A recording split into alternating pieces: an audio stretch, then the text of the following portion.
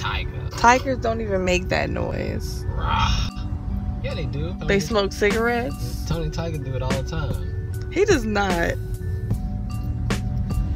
He does not. I don't know why I just thought about Tiger and the, the Frosted Flakes commercial, and I, I kind of want to see that. I mean, if we saw Nelly in a Cheerios commercial, I'm pretty damn sure. Wasn't Nelly in a cereal commercial? Man, if we saw Nelly in a Cheerios commercial, I'm pretty damn sure. Honey Nut Cheerios. Oh, it was Cheerios. Honey Nut, Honey Nut, baby, yeah, yeah. Deus! He definitely didn't.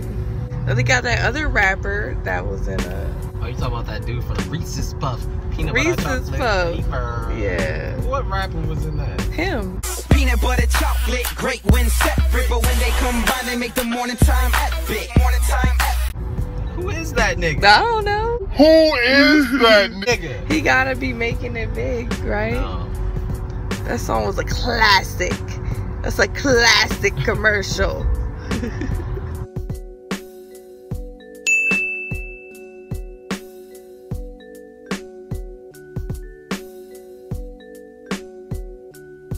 I really should have went that way. That would have been cool. Turn.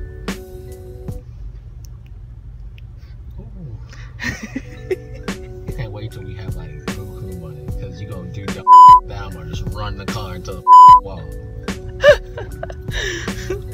Why? But like, why would you want to deal with repairing your car? I wouldn't like, care. Getting a new car. I don't care about money now. So like when I have a lot of it, yeah. son, You just gonna it up, huh? dude, I'm like, I'm gonna be liable. Just walk in an orphanage and just be giving.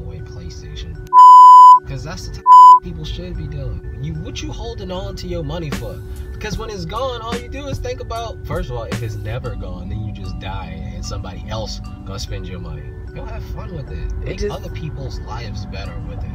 I feel that. Because some people just don't ever have an opportunity to have like a lot of money. Change somebody's life. White. One call, that's all. Nah. Ooh. Oh, whoa, whoa, whoa, Nelly. Look at, got it all under control.